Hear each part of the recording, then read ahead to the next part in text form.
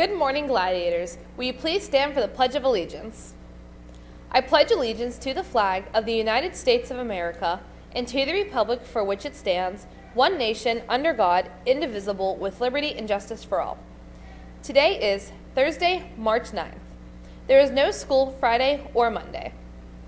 There will be bracelets being sold for $2 outside of the cafeteria during lunch throughout the month of March for Women's History Month. March is Women's History Month. Today's influential women are Margaret Sanger, Ethel Bryan, and Fania Mindell.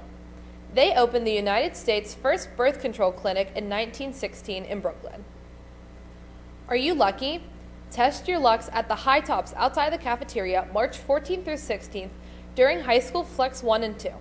For $1, you get two guesses, and the overall closest winner gets the jar of candy. To all the Battle of the Book contestants, the Battle of the Books will be on April 6th in the Media Center. There will be book talks on March 9th during your lunch periods.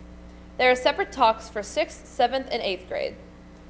Go get your lunch and come to the Media Center and come talk about the eight book titles from the Children's Choice Awards.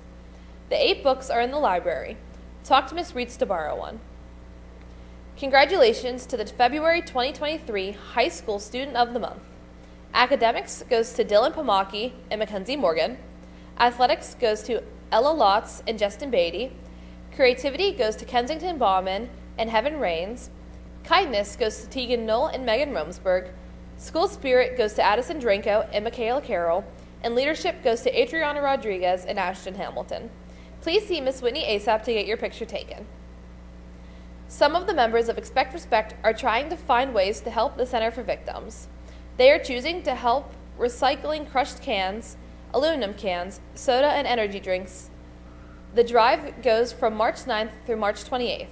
Boxes will be in the rooms of Miss Pickett, Miss Blonsky, Mr. Edwards, the main office, and the cafeteria.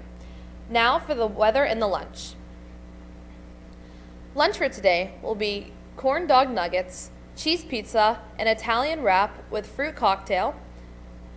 For the weather today, there is going to be a high of 48 and a low of 25.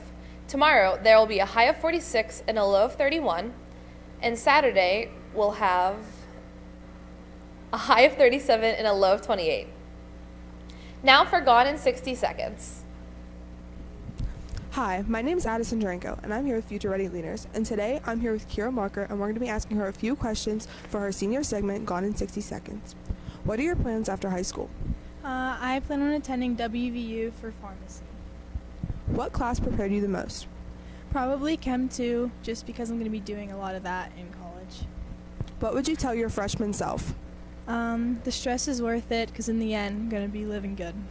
Good luck, Kira. Good luck, Kira.